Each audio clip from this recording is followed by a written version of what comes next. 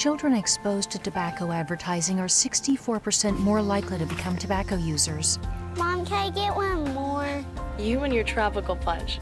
Okay, one more. Help us stop corporate tobacco from enticing our kids with deadly products. How about these? Oh, no, no, no, no, no. That's not candy. Learn more at reactmt.com or quitnowmontana.com.